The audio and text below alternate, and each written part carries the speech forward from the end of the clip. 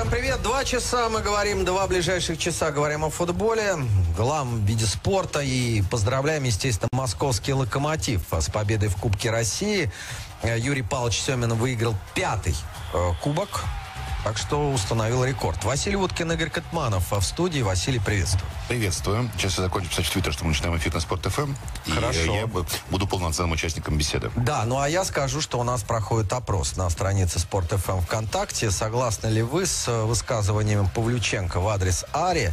Э, варианты следующие. Да, полностью согласен. Пока этот вариант лидирует 48%. Нет, Павлюченко повел себя некрасиво 28%. И третий вариант это Павлюченко. Надо дисквалифицировать до конца сезона 24%. Ну, я, во-первых, напомню, что э, дисквалификации кубковые на чемпионат не распространяются. Э, хотя здесь уже горячие головы, и не только горячие, может, наоборот, да, люди, которые рассуждают здраво, они считают, что Ари достоин серьезной дисквалификации. Ну, а, не знаю как, я уже провел в своем твиттере опрос большой, э, принял участие 5,5 тысяч человек. Вот, и с Павлюченко согласна, что Ари действительно он. Да. Он. 51%.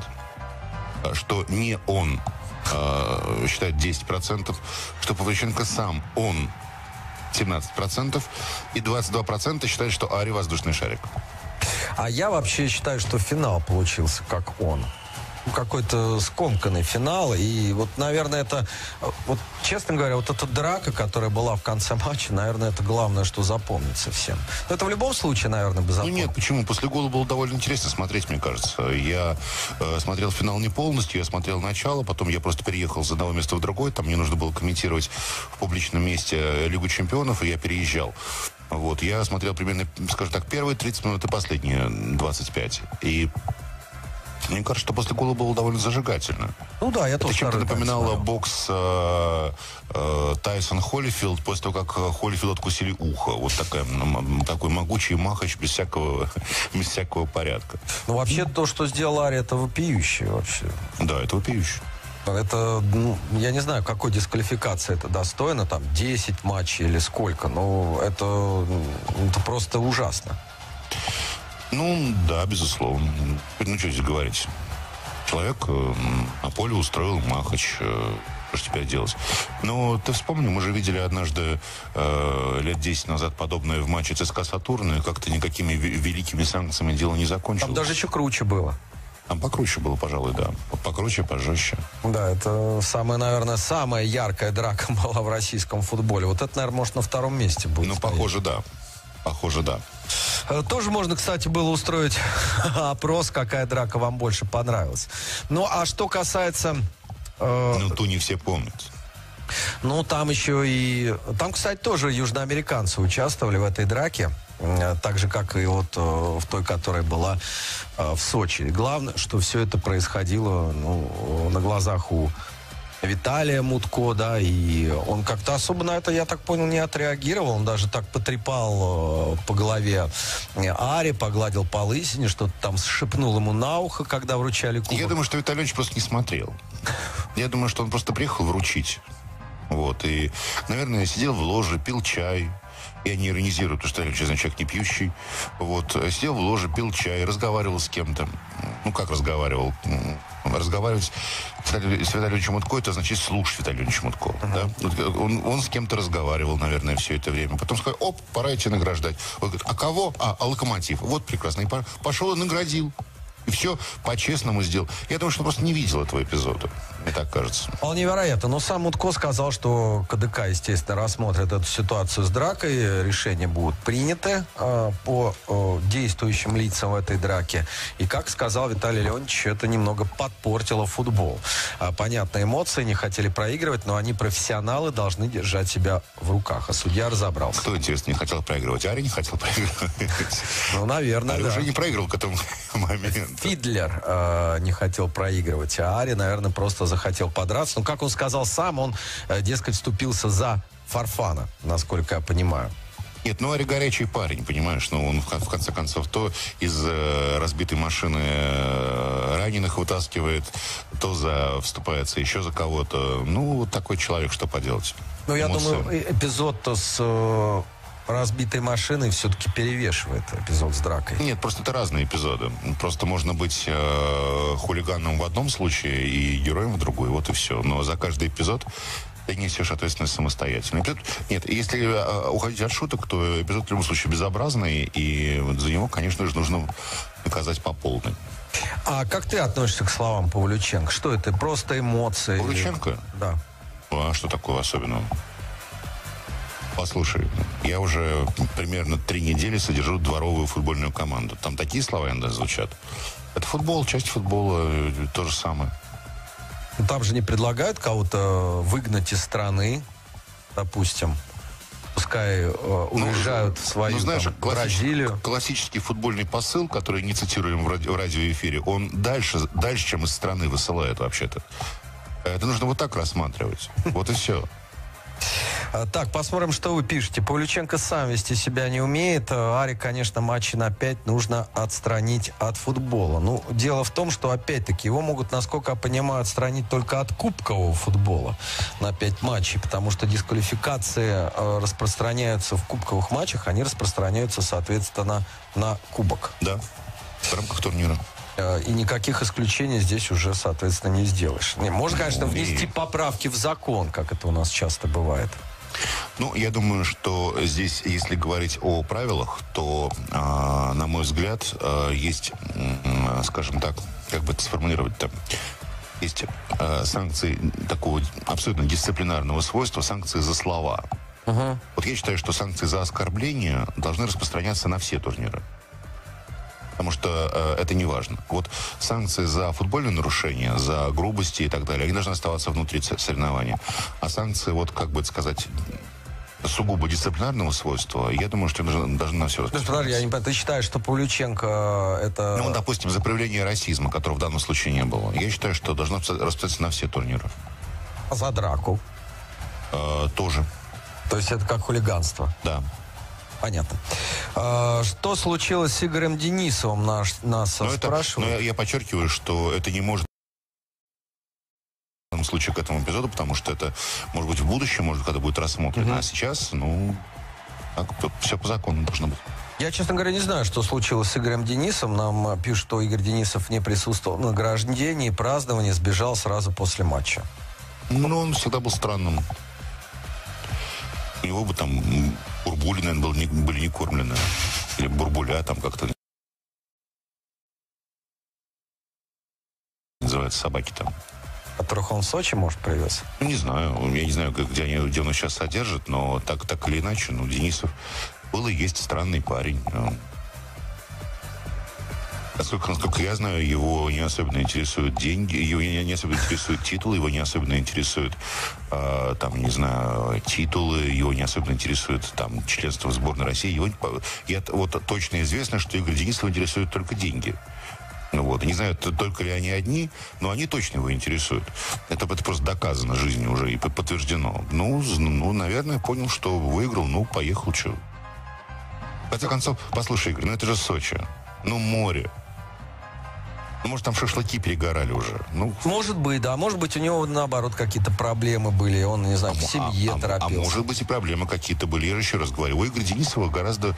Э, есть очень много вещей, которые он ценит выше титулов э, футбольных. Поэтому я совершенно этим не удивлен. Я надеюсь, что он успел по своим делам. Надеюсь, что все его родные и, и близкие здоровы, и все у них понятно. Ну, голом праздновал очень эмоционально. Так, ну э, давайте посмотрим, что вы нам пишете. Во-первых, здесь очень много вопросов по дерби прошедшему. Так. Ну давай э, тогда по дерби поговорим. Давай по дерби.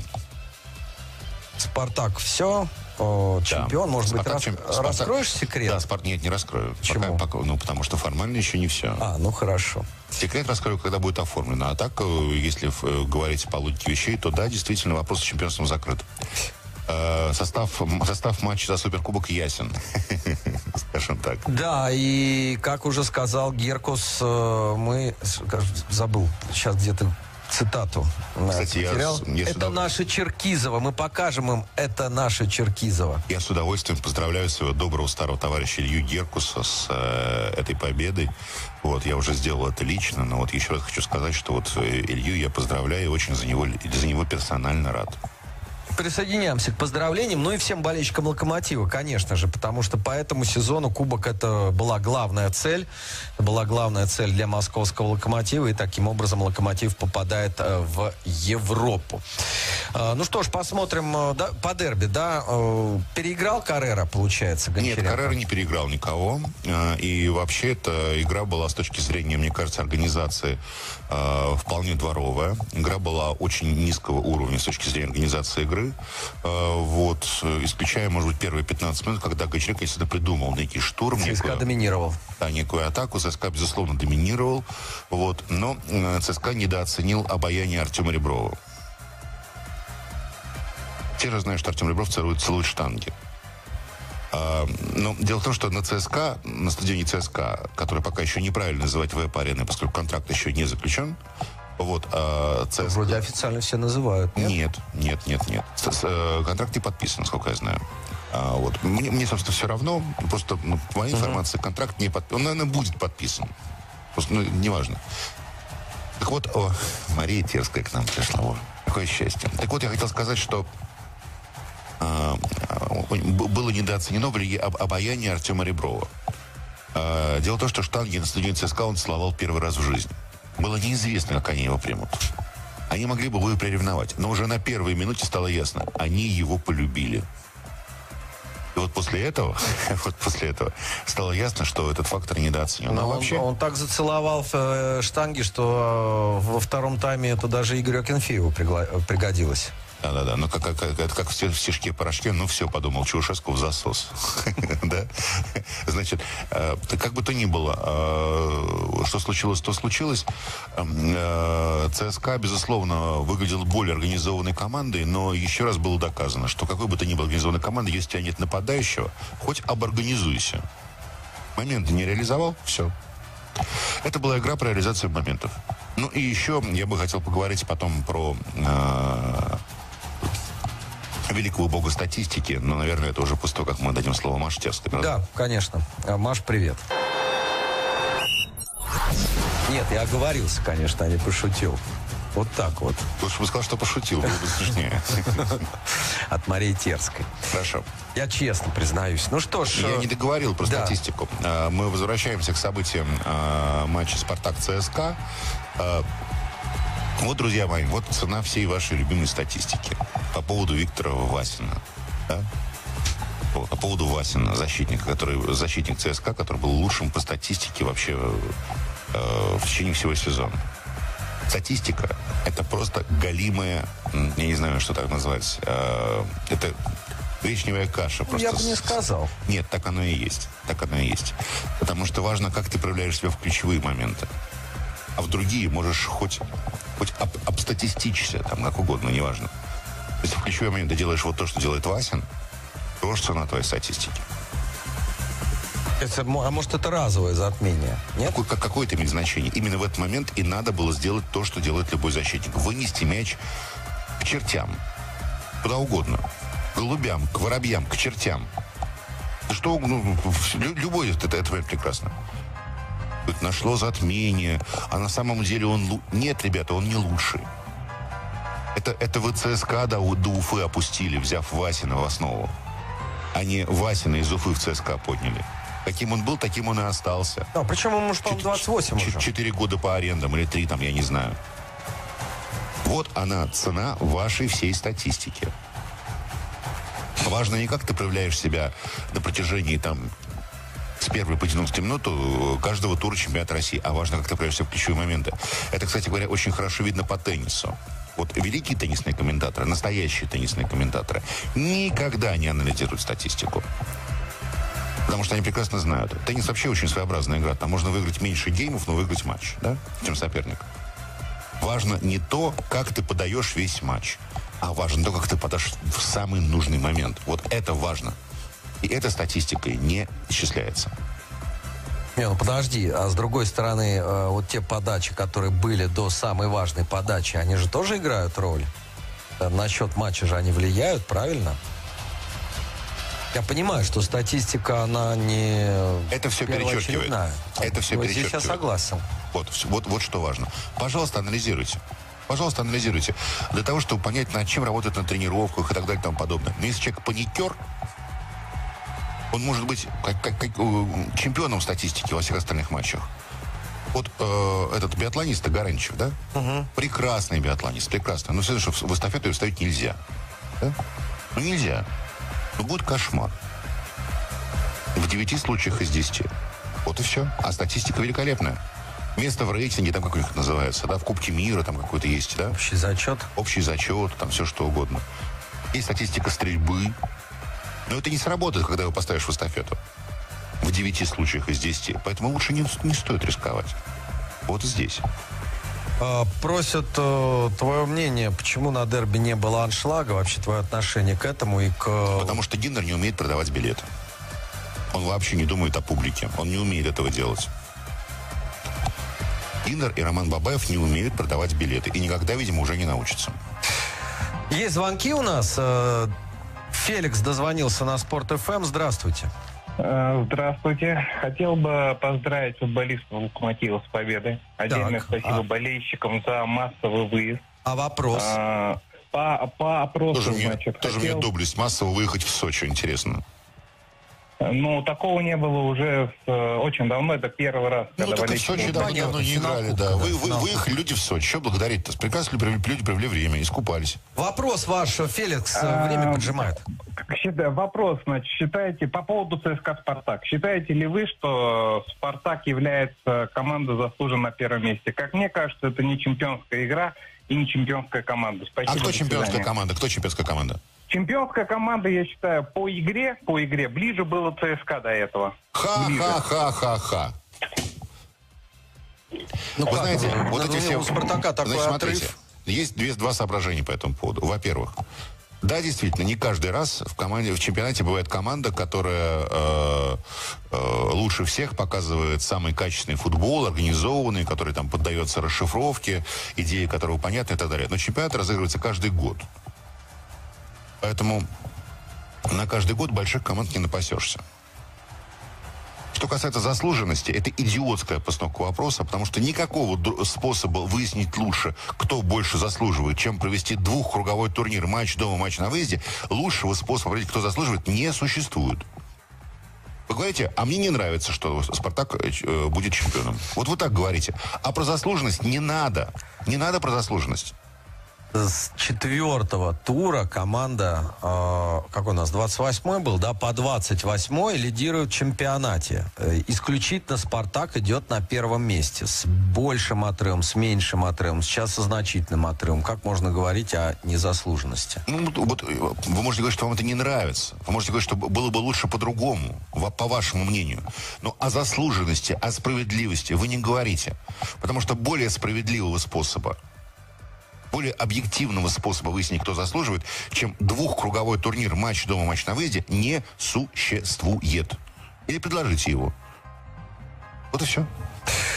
Ну что ж, э, я напоминаю, можете звонить 276-093-2 или 1-93-2. Это телефоны прямого эфира Спорт ФМ. Задавать свои вопросы Василию Уткину. Мы тогда ненадолго прервемся. Продолжается программа «100% футбола». Василий Уткин, Игорь Катманов в студии «Спорт ФМ». Говорим о футболе. Естественно, о прошедшем финальном матче Кубка России, в котором «Локомотив» обыграл «Урал». Э, конечно же, с Василием мы поговорили и по дерби ЦСКА «Спартак». Ну и, конечно же, сегодня э, матчи 1-2 финала Лиги Чемпионов. Монако против Ювентуса. Напомню также, что и полуфинал Лиги Европы Аякс Лион 19-45 21-45 Монако Ювентус. И у нас на прямой связи э, комментатор Матч ТВ, э, ведущий Спорт ФМ Нобель Рустамян, как раз-таки о матче Монако Ювентус. Нобель, приветствуем тебя. Здравствуйте, здравствуйте. Э, Игорь, привет, Вася. Нобель, Вась Монако? Нет, Вась, только Ювентус. Сегодня. Так я против Монако, как команды и как княжество, естественно, ничего не имею против, только за. Так, ну и скажи нам, пожалуйста, какие э, шансы, на твой взгляд, у Монако в противостоянии с Ювентусом? Э, мне так видится, что их очень мало. Во-первых, СДБ, да, сегодня, скорее всего, не сыграет. И под вопросом участия Бакаяко. А, это основные игроки Монако. Плюс, э, плюс ко всему мы видели силу Ювентуса реально. Это, если это изменит ситуацию, твои прогнозы, то сегодня в Юве не играет Хидира. Тоже игрок основы. Ювентуса, я думаю, что Сидибе Хидира примерно да. имеют равное значение угу. для своих команд. Я думаю, что у Монако нормальные шансы. Вопрос просто в том, меня больше интересует, как игра будет развиваться. Игры будут развиваться, чем это первая игра. Потому что, э, мне кажется, важный момент, все команды предыдущие, с кем играл Монако, они с удовольствием, э, вот знаешь, э, втягивались в, в эту э, атакующую гонку угу. с Монако, да, вот стрелку голевую. И Манчестер Сити этим увлекся. Не в первых матчах, наверное, это было, в принципе, нормально для Сити и Дортмунд. Ювентус так, конечно, не будет играть. Ювентус ну, будет играть ну, с Дортмунд другая история была.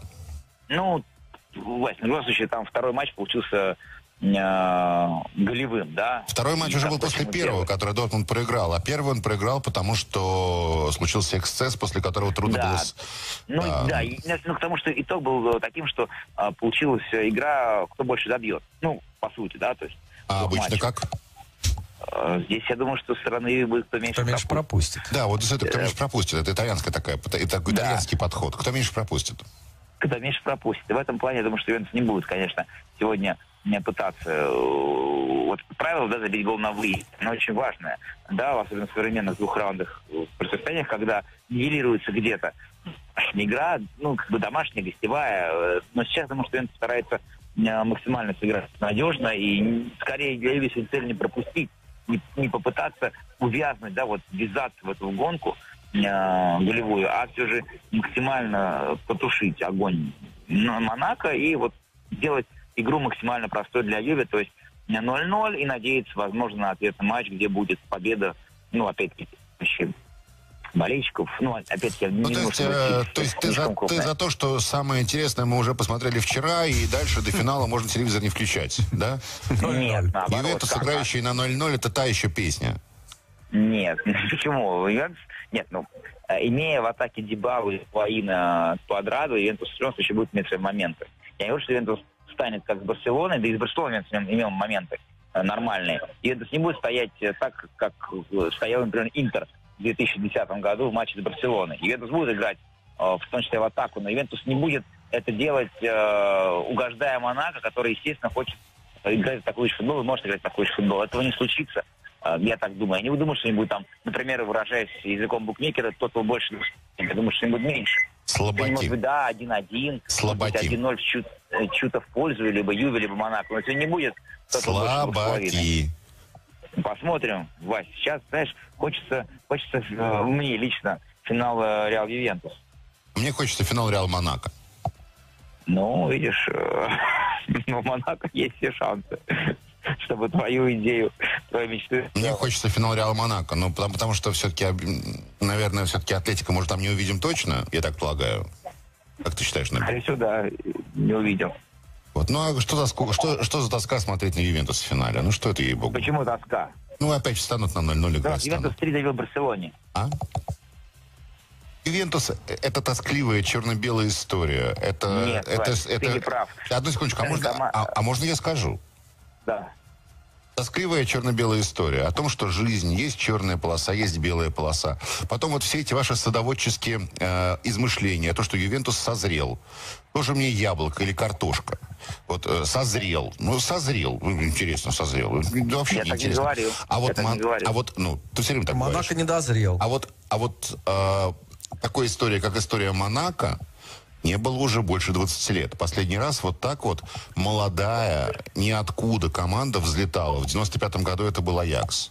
И я очень сожалею. И я, и я, а, я, а я договорю, можно? Да ну что это, это, это была другая история. Это все другая Монако. А вот сейчас молодая команда, которая несет в себе новые, новые совершенно имена, новые идеи. И, кстати говоря, безусловно, лучший тренер Лиги Чемпионов этого года Леонардо Жардин.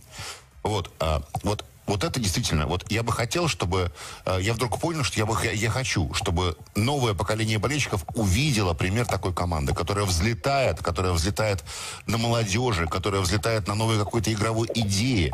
И, может быть, даже вот это будет такой сполох э, на небе, да, вот она не останется там как корифеем, ее, наверное, разберут. Вот я это видел в Аяксе 95 -го года, а вот э, уже 20 лет, уже студенты мои уже этого не видели, понимаешь? Никакие мои команды этого не видели и не помнит этого. Я хочу, чтобы люди посмотрели на такой феномен. Вот, вот чего я хочу. Ну, в крайнем Ну, они случае, разберут смотрели. Ювентус. А? Они, Как- они уже насмотрелись. Уже матчи с Манчестер Сити с Дортмундом, два матча с Ювентусом будет впереди. Поэтому 8 матчей... э, Это не хватится. Нужен титул. матчей, да. Нужен титул. Если будет играть Монако в финале То против есть, Реала, то есть в э, финале Реал Монако ты болеешь за Монако. да, я буду болеть за Монако Ничего вообще себе. весь оставшийся Против цикл. испанцев. Да. Все, я зафиксировал. Короче, понятно, если Барселона в Ювентусу не забила, это звездное их э, трио, да, МСН, значит, э, Монако это будет еще сложнее сделать. В общем, Нет, такие. я так не говорил. Я так не говорил, Игорь. Ну, хорошо. Играем на 0-0. И ты, хорошо. Как, как скажешь? Тебе Добрый, а где, ты- где ты находишься сейчас? Я с по Леновым сейчас еду а, по Московской кольцевой... э, Понятно. по То- то- Московскому центральному кольцу. э, То есть ты не на игре. То есть ты не на игре. Я понял. Хорошо. Нет, нет, мы с Михаилом Поленовым сейчас едем а, по этой прекрасной... Передавай Михаилу Привет, и, и что- чтобы еще он отвечал на смс а, то- а то что там перестал. Хорошо, хорошо, спасибо. Все, договорились, давай. Пока. Спасибо, это был Нобель Арустамян. Ну что ж, символично, по прекрасной железной дороге э, после победы Локомотива в Кубке России едет Нобель и рассуждает о матче Ювентуса и э, Монако. Точнее, Монако. Ювентус сегодня у нас э, в Монако. Бритоголовый, как Ари. Да. Но не такой агрессивный. О, счастью. не видал ты еще Нобеля. Да? Ну, надеюсь. Итак, э, сегодня Монако Ювентус. Э, А если Леонардо Жардим, допустим, э, крупно проигрывает в полуфинале, вот э, Ювентус, вот на твой взгляд, вот я думаю, что он все равно за- э, заслуживает ну, титула лучшего тренера.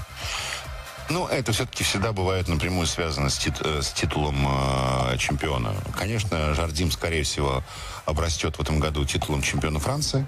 А Вот, но чемпион Франции э, не самая такая сладкая история. Вот если он выйдет в финал, там проиграет, э, это не будет иметь, мне кажется, значения. Жардим очень интересно, потому что он перестраивает команду и по ходу матча. Видно, что у них есть наработанные варианты, видно, что у них есть наработанные стандартные положения. Работает тренер, в общем-то, да? Вот у Реала всех стандартных положений наработки, это вот э, Криштиану отмерить, отойти и ноги расставить. А больше ничего нет. А там ничего и не надо с таким Да, составом. ну, ну, и- ну, вот им, э, конечно, конечно. Я об этом и говорю, да.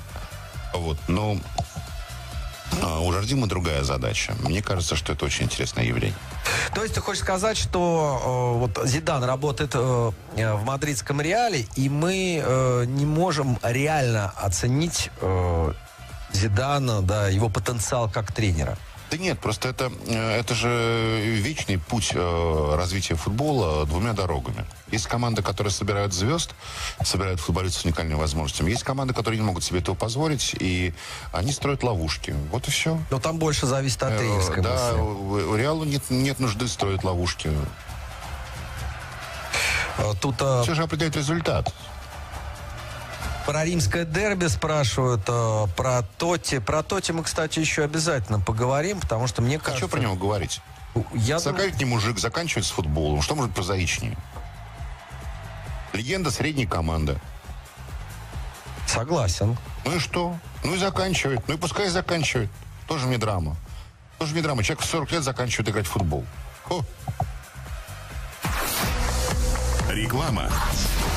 Говорим о футболе на Спорт ФМ. Василий Уткин, Игорь Катманов. Можете звонить 276-093-2 или 1-93-2. Это телефоны прямого эфира Спорт ФМ. Код Москвы 495. Но сейчас в студии появилась Мария Терская, и ей передаем слово. Ушедшие из ситуации в финальном матче Кубка России. по поводу драки. Да, да, да.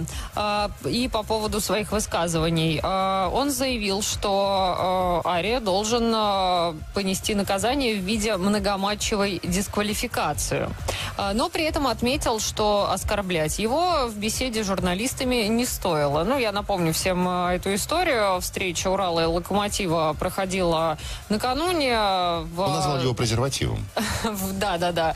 А, И, в общем, а, в конце встречи футболисты устроили потасовку. Четверо, в том числе Ари, были удалены с поля. А, И после матча в смешанной зоне Павлюченко на просьбу прокомментировать состоявшуюся игру вот э, именно так э, Ари и обозвал. И сейчас э, считает, что бразилец, э, который приезжает, ну, в принципе, любой иностранец, по словам Павлюченко, который приезжает в другую страну, работает там, да, играет в футбол, получает за это деньги, не должен себя вести подобным, можно? подобным образом. Вот этого Павлюченко не уточнил. Ну, при этом, конечно, сказал, что да, я тоже не должен был употреблять соответствующие выражения. И по поводу своего потенциального наказания, он считает, что, процитирую его, наверное, что-то будет. Я уже был наказан недавно, сейчас опять в центре скандала. Но что поделаешь, что произошло, то произошло. Вот так. Понятно. А интересно все-таки, вот а, как здесь это связано с, э, так сказать, бразильством Ари?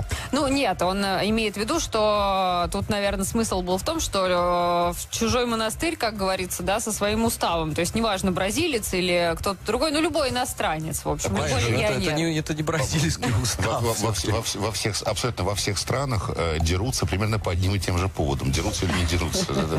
да, Своим уставом. Да, ну, понимаете, мы же, мы же очень любим Рана Павлюченко. Мы знаем его, за ним очень много разных достижений, э, очень много разных успехов. Мы помним прекрасный Евро-2008, да. Мы его э, любим и ценим, но не за то, что он умный. Именно этого о нем мы не знаем. Мы вот он хороший футболист. Вот. А это не одно и то же. Ну, наговорил человек и наговорил 40 бочек арестантов. Ну, пожалуйста, что ж теперь сделаешь? Ари подрался, Волченко наговорил. Вот они друг друга стоят. Ну, в принципе, да, равнозначно, Григорий наверное. Иванов сказал, что Да, у нас да, да. свободная страна, и каждый может говорить все, что захочет. Ну, не все, что захочет, конечно же, потому что есть еще и законы как- какие-то, да, потому что нельзя призывать к насилию, например, да, к свержению государственного строя нельзя Ну, призывать. вроде к насилию не призывал, да? Не призывал, да, совершенно верно. А так получается, что они с Ари оба, э, получается, такие вот из одной пачки э, Друг друга стоит, в общем. контрацептивы, да. Ну, это все стоит друг друга, конечно, а что ж, и нормально. Ну, теперь э, э, более У приятные одного нет новости. нервов, у другого мозгов. Ну и нормально, все хорошо. А, да, теперь э, новости поприятнее. Голкипер ЦСКА Илья Сорокин и нападающий армейцев Кирилл Капризов э, в минувшем сезоне, который выступал за уфимский Салават Юлаев, претендуют на награду лучшему молодому хоккеисту Европы. Победители будут объявлены 13 июня в Праге и соперниками э, наших э, игроков э, в споре вот за эту награду являются не столь известные хоккеисты. Это нападающий шведский Юэль Эриксон Эк, чех э, Доминик Кубалик и Оскар Линдблум, э, также из Швеции. Как вы думаете, удастся Сорокину или Капризову обойти соперников своих? По всех сигналах я слышу впервые. Нет, ну Капризов Сорокина я знаю. Капризов- Ли- Ли- Капризов-то Линдблума я я, знаю, да. тоже слышал, но не знаю, честно говоря. Тоже не Я знаю. так внимательно не слежу за шведскими игроками. Ну, будем надеяться в любом случае. И э, новости из солнечной Ларнаки, где проходит э, Кубок мира по стендовой стрельбе. Там э, россиянин Артем Некрасов э, завоевал... событие, да. Да, о- очень. А, главное не событие, главное то, где оно состоялось. Ну да. А, так вот, э, россиянин Артем Некрасов э, завоевал серебряную медаль в дабл-трапе. На очередном этапе э, Кубка мира в финале он набрал аж 72 очка из 80 возможных. То есть, ну, практически на 4 с плюсом серебряную? сдал. Да. Всего лишь навсего. Ну, все равно не, неплохо. Ну, понятно, лучшие российские стрелки сейчас выступают в Сирии. А, Да уж. Победу одержал а, итальянец Даниэле Деспиньо, и третьим стал еще один а, итальянец Давида Гаспарини. Вот так вот. Спасибо. Ну да. А что касается Романа Павлюченко, то я сам э, человек, которому он однажды э, хотел, вернее, собирался подрезать язык. На что- Подрезать? Про- Да, да, да, да, да, да. Ну, отрезать или подрезать, там, я не знаю, чего уж он имел в виду. Была такая история. Но ничего страшного, в конце концов. Я же, понимаешь, это я бегать с Романом Павлюченко в, в запуске не могу. А так, если вот захочет подрезать мне язык, так у нас с ним весовые категории-то разные. Вот, что я ему тогда и объяснил. Ничего страшного. А, нет, Ари, Ари заслуживает всяческого порицания, но то, что э, Рома не очень хорошо умеет выражать свои мысли в минуты душевной невзгоды, это давно известно. И тоже, э, мне, мне эта история кажется бесконечно милой. Вот и все. Она бесконечно мила, очень хороша. И, в общем, ну что в конце концов? Два мужика языками зацепились. Что может быть прозаичнее и веселее? Из этого рождаются кинокомедии, драмы, иногда, иногда трагедии рождаются. Надеюсь, до этого не дойдет. Ну да, главное, чтобы трагедии не было. У нас звонки зато есть. А, Александр на Спорт ФМ позвонил. Здравствуйте. Да, здравствуйте, Василий. Здравствуйте, Игорь. А, у меня вопрос э, по ЦСКА один и один по Лиге Чемпионов. А, по ЦСКА хотел спросить, э, как Василий э, оценивает игру Витиньо и каковы его перспективы вообще в ЦСКА, может ли он лидером стать? Э, Витиньо не соответствует, уровню, Витиньо не соответствует уровню задач, которые преследуют ЦСКА. Да ладно. Мое мнение. А второй вопрос. Да, Ой, вы исчезли. Жалко. Вопросов по Лиге Чемпионов не будет. Но, может быть, еще будут звонки. А почему Витини не соответствует тем задачам, которые ставит перед собой ЦСКА? Потому что не соответствует и все. Ты э, скажи, почему соответствует, боже ты мой. А кто тогда в ЦСКА соответствует? В ЦСКА нападающего нет, ну, должного уровня сейчас. Я не знаю, я, я не, не готов оценивать перспективы Чалова, потому что я вообще не умею оценить перспективы молодых игроков. Я просто не обладаю таким опытом, способностями и знаниями. Вот. Но в остальном, да, нету и все. И все. А, ты имеешь в виду Витиню как э, центрального нападающего? Да, да, да. Ну, да. И здесь я согласен, потому Да. что, в принципе, это, наверное, не, ну, не его позиция. А, а чи- какая у него позиция? Ну, я думаю, под нападающим он лучше сыграет. Или второго форварда. Ну, жизнь покажет. Пока, по-моему, он очень хорошо соответствует позиции охранника в клубе. Нет, этой позиции лучше Ари все-таки, наверное, соответствует. Правда, он не в ЦСКА. Может быть, и Ари тоже, не И- знаю. есть еще звонки. Дмитрий, здравствуйте. А, Добрый день, у меня ребят, хорошего эфира. А, Первое, хочу сказать, что я с Василием а, полностью согласен по поводу Монако. Я считаю, что, конечно же, это было бы прекрасно, если такая команда смогла выиграть Лигу Чемпионов или в финале хотя бы оказалась. А, И второе, вот по поводу финала Кубка России Мгм, вчерашнего. Вот э, свое мнение хочу коротко сказать, и потом ваши ребят тоже все-таки. А, Мне кажется, что слишком много э, вот именно собак вешают именно на Аре. То есть э, Фидлер вообще в стороне. То есть как будто бы он не был совсем а, зачинщиком всего этого конфликта, инициатором, да. То есть почему-то у нас Ари главный злодей оказался. И все собаки на него, и его надо там Ну, дисквалифицировать. дело в том, что в, в этом конфликте Ари э, вел себя агрессивнее всех, да. Правильно? Какая разница? Что степень агрессии? Это, это же драка, это же мужская ситуация. как Ну, слушайте, Фидлер дрался, получил говорит. красную карточку, так же, как Ари. Вам кто-то там гудит. Спасибо вам за звонок. Ну, я не знаю. Василий, согласен, Ну, э, всех собак вешают на Ари. Ну, вы знаете, драка вообще дело такое несправедливое. Поэтому чего ж теперь судить о том, чтобы на всех э, собак одинаково повесили? На кого-то больше, на кого-то меньше. Кто-то лучше себя проявил, кто-то кто ярче, кто-то ту- тусклее. Э, Тут какие проблемы-то, собственно? Ну, вот, поэтому будем считать, что Ари проявил себя в этой драке Я просто, ярче помню, всех. я просто помню, что четыре красные карточки это был рекорд чемпионатов э, России до сих пор. Правда, не чемпионат, а кубок. Э, Я помню этот матч прекрасно. Матч Алания Спартак, который судил еще тогда бывший арбитром Николай Левников. Ну вот, снова мы выделили четыре красные карточки. Я считаю, что это вообще событие, которое стоит запомнить.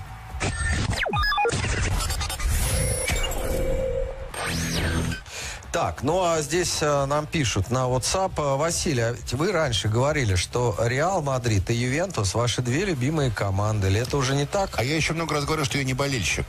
И я могу болеть за разные команды. Да, действительно, исторически я симпатизирую Реалу, Ювентус. Я еще Челси очень люблю по дружбе, так сказать.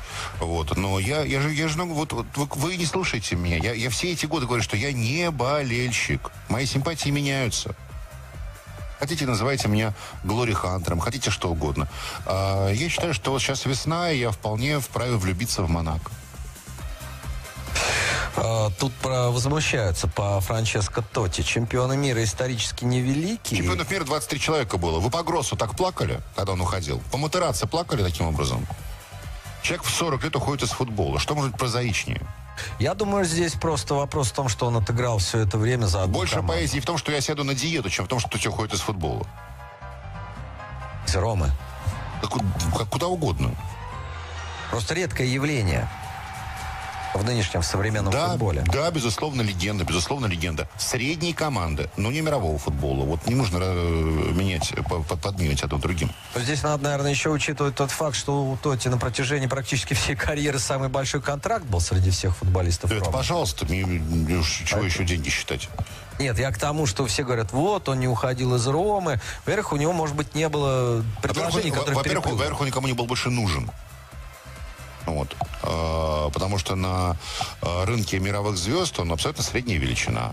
Ну, конечно, чисто теоретически вполне возможно, его бы купил Кристал Пэлас. Я, я допускаю это совершенно, да. Может, может быть, даже Ливерпуль. Хотя вряд ли. В Ливерпуле другая политика была все это время. То есть, по факту, ты считаешь, что Тоти это, ну, там, игрок чуть выше уровня Тотти. Диканио условного, да? Тотти, Тотти легенда, но это легенда Ромы. И, и не более того. И не более того. И то, что человек уходит в 40 лет из футбола, в этом нет никакой драмы. Никакой трагедии. В этом нет повода для проливания слез. Это быт. Э, так, э, смотрю, что здесь пишет. Фома нам пишет. Я, конечно, понимаю, что вы недолюбливаете Юве, опираясь на какие-то уже устаревшие стереотипы. Ну, Как я не люблю Юве. Я с детства болею за Ювентус. Я играл мой любимый футболист Платини, интересно. Я, э, если что и недолюбливаю, так это раздутые амбиции болельщиков Юве. Я вообще очень не люблю переоценку. Вот. И я, я, замучился слушать разговор, то, что Юве созрел. Прям как прям лимон. А это вам не лимон. а Монако-то еще не созрел. Нет, Монако это другая история. Просто интересно. Согласен, да, это очень интересно, потому что команда молодая, команда перспективная и команда, чей футбол радует глаз, прямо скажем. Ну ладно, мы прервемся. Продолжаем говорить о футболе на Спорт ФМ. Василий Уткин, Игорь Катманов, 276-093-2 или 1-93-2. Это телефона прямого эфира Спорт ФМ. Пробегусь быстро по вашим сообщениям на WhatsApp и Viber 925-4 Так, э, Дмитрий пишет, почему не сообщает, э, сколько осталось дней до Кубка мира по хоккею, а до Кубка Конфедерации идет оповещение. Хоккей для вас не так Да, да, хоккей, да, хоккей для нас не так. Дмитрий, вы э, странный человек, вот честно говоря. Во-первых, не Кубок мира по хоккею. Кубок мира по хоккею уже прошел давно. Это чемпионат мира э, по хоккею. Э, Так, э, что вы скажете, когда уйдет Буфон? Вот такой вопрос. Ну, давайте его подождете. Я надеюсь, что к этому времени мы еще не прервем сотрудничество со Спорт ФМ, и узнаете, что я скажу тогда. Буфон, Буфон великий игрок, а Тотти нет. Ну, а у нас звонки есть. Александр на Спорт ФМ дозвонился. Здравствуйте. Алло, да, здрасте. Я вот вам звонил, оборвалось, к сожалению, по поводу ЦСКА, по поводу Витиню. Хотел По Лиге уточнить. чемпионов. Мы про Витинью вам ответили. Да, да, да. Про Витиню я просто хотел Был вот такой, сравнить от- скорее от- был такой от, от, с от Витинью. а Карвалья, а, который играл, если помните, ЦСКА. По Лиге чемпионов я просто хотел бы узнать у Василия, как он оценивает шансы Монако.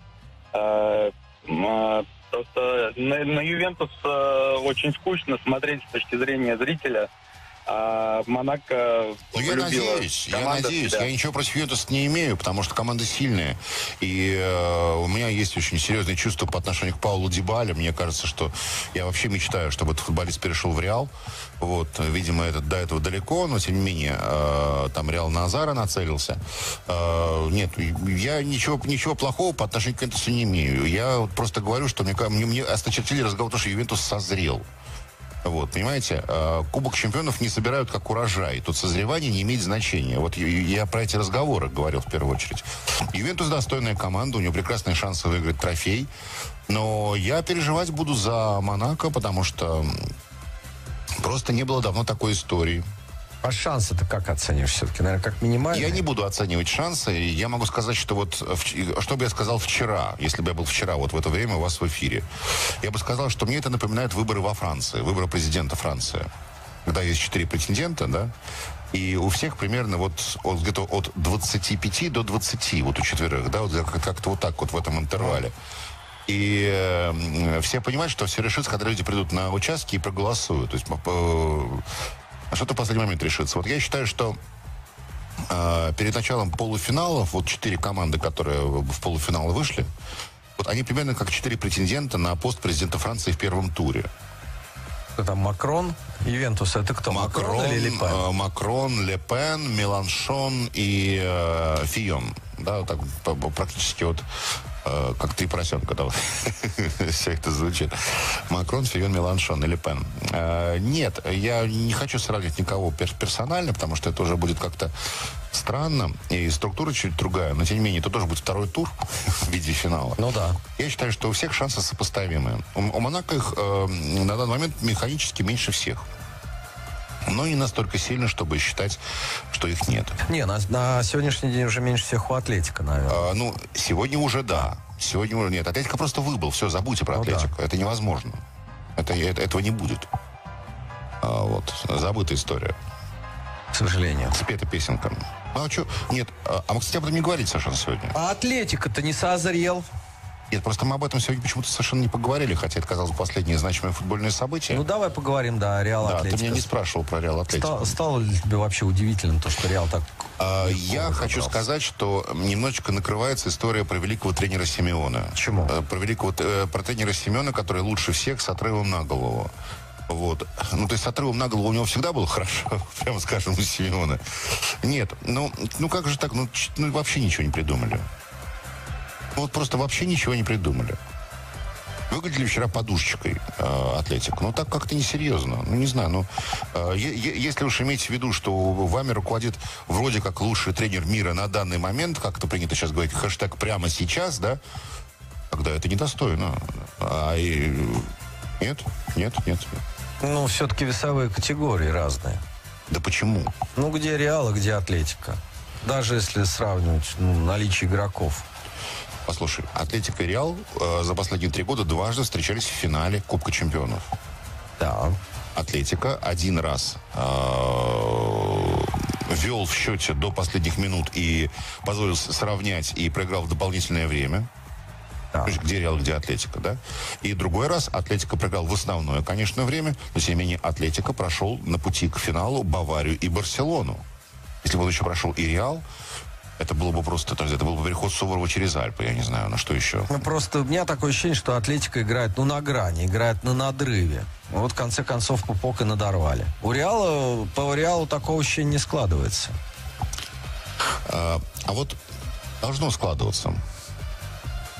Должно складываться. И, и- и дело все в том, что просто вообще было непонятно, во что они начали играть с Реалом.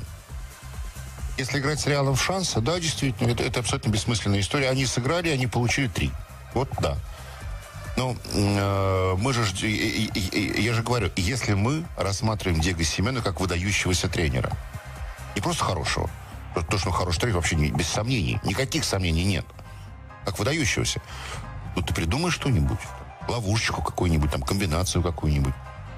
Ни одного наигранного стандарта, кстати говоря, опять же. Ни одного. Хотя нет, один был. Один был наигранный, когда вот они забросили мяч, покатили мяч в штрафную справа, да, и там был удар Година. Это было, это было, да. Но в целом, Ну, мне кажется, все-таки, э, чтобы оценивать э, Симеона, оценивать или не оценивать как выдающегося тренера, наверное, он должен работать в клубе большего калибра, нежели Атлетика Мадрид. С большими возможностями, так скажем.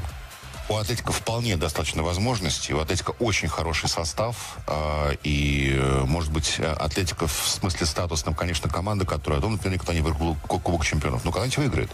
А, нет, э, тут... э, Я не думаю, что в мире есть клубы, ну, кроме двух-трех, может быть, четырех, которые располагают большими возможностями, чем Атлетика Мадрид. Бавария, Реал, Барселона. Бавария, Реал, Ювентус, Барселона и ПСЖ, например, да? Па- Пари Сен-Жермен. В ближайшей перспективе может быть либо Интер, либо... Ну, Интер, да, там. с Ну, это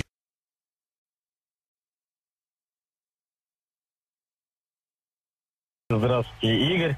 А, вот у меня вот такой вопрос. А, Мысль закралась такая после вчерашней э, потасовки на финале Кубка. А, провел мне небольшую аналогию с дерби манчестерским. где Филайни э, ударил... Э, Агуэра. Да, ну скажем так, сделал вид, что ударил, да, Агуэра, соответственно, упал и не допустил потасовки. Вот у меня такая мысль прошла, а вот не стоило ли кому-то из игроков упасть? чтобы не завязалась такая потасовка. И вообще хотел бы узнать э, мнение Извините, а, Василия. извините, а почему вы меня об этом спрашиваете? Ну, мне просто Может быть, интересно может, ваше мнение. может- да нет, а как- какое у меня может быть мнение? Может, может быть, они не собирались сделать так, чтобы не было потасовки? Может быть, их устраивало то, что потасовка происходит? А, ну а что скажете по поводу вот того поступка Какого?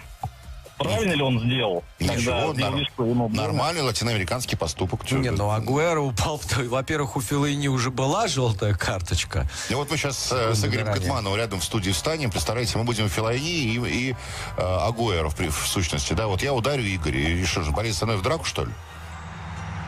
Нет. Было бы правильно с его стороны упасть в этом отношении. У нас разные весовые категории, у нас разная длина рук. Не, ну тут э, просто разные ситуации были вообще. И ситуация, ну, конечно, разная. Это надуманный вопрос. Я же, я же отшучиваюсь. Ну, Игорь, ну, конечно. Так, э, Ювентус. э, Я, про- жизни- поверь мне, я никогда в жизни тебя не ударю. Я верю. Ювентус провел только один скучный матч в плей-офф. Но теперь говорят о том, что Ювентус скучно смотреть. Нынешний Ювентус очень хорош. И в созидании, и в разрушении. Юве очень сбалансирован и тактически грамотен. Где скука? Даже игра с Барсой на выезде была не так уж скучна, несмотря на отсутствие голов, пишет там Яков. Яков, имеете полное право так думать. Я не называл Ювентус скукой. И вообще все характеристики сравнительны. Я говорил только о том, что Монако это прекрасная история. Мне бы хотелось, чтобы она продолжалась. Вот и все. И еще я говорил о том, что Ювентус страшно переоцениваемая команда. При том, что он действительно достоин многого сам по себе. Но разговор о Ювентусе, о том, что ему пора, что вот уже его, это его сезон. С чего бы вдруг? Это решается каждый день. Это не решается стратегически э, за разговором, там, за чашкой кофе или, или стаканом э, портвейна. Это решается каждый день. Вот я о чем говорю. Вот пускай это решается, но мои симпатии просто сейчас на стороне Монако. Вот и все. Вот все, что я сказал, Яков. О том, что Ювентус прекрасная команда, кто бы спорил? Еще раз говорю, я персональный поклонник Паула Дибала. Спрашивают, это новый Месси? Нет, он совсем не Месси. По, я имею в виду, займет ли он этот Олимп? Не знаю. Не знаю. Но он совсем не Месси. В Месси нет секса, а Пауло Дибала весь секс. 276-093-2 или 1-93-2. Эльдар, добрый вечер. Да, э, добрый вечер, приятного эфира. Вот у меня такой будет вопросик вам э, в преддверии э, Кубка Конфедерации. Так чемпионата мира. Э, паспорта болельщиков. Ваше мнение, вот хочу сказать, выразить свое. Мне кажется, это для того, чтобы полностью отпугнуть всех любителей футбола э, в стране, чтобы они не ходили на стадионы. Поясню почему. Если, например, у меня не получится сходить э, да, на футбол с паспортом болельщика, я, условно, там, Василию Уткину подарить его не смогу, чтобы он сходил порадоваться. Вот такой вопрос у меня будет. Поясните, пожалуйста, ситуацию. Ну, вообще, ну, реально говоря, ну, вообще непонятно. Даже сейчас вот, чтобы Рубин ЦСКА посмотреть в Казани, да, обязательно надо делать и паспорт болельщика. Без него билет на футбол не дадут. Все, спасибо, жду ответа. Извините, я не в теме. Ну, к, имен- меня не- допустим, к именным билетам как Он- ты относишься? К именным билетам, ну, я считаю, что, как бы сказать, э, с одной стороны, это правильно, а с другой стороны, ну, это лишняя бюрократия абсолютно. Вот. Мне кажется, что э, весь вопрос здесь в целеполагании, для чего это делается.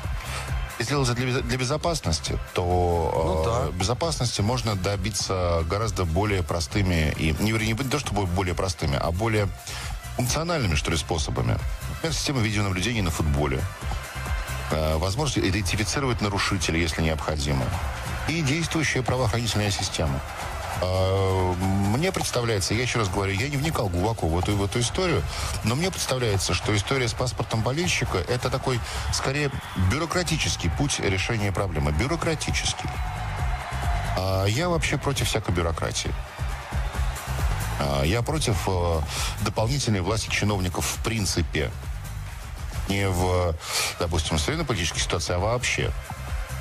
Вот, э, на любом уровне. Мне не нравится чиновничий язык, мне не нравится чиновничий способ решения вопросов. А, я думаю, что, как бы сказать, еще раз повторюсь, я не очень глубоко вникаю в эту ситуацию.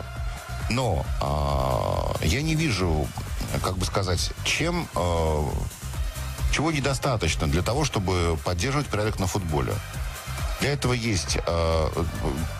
Здесь ведь вопросы очень простые. Первое – это способ идентифицировать нарушителя. И второе – это эффективно работающая правоохранительная система.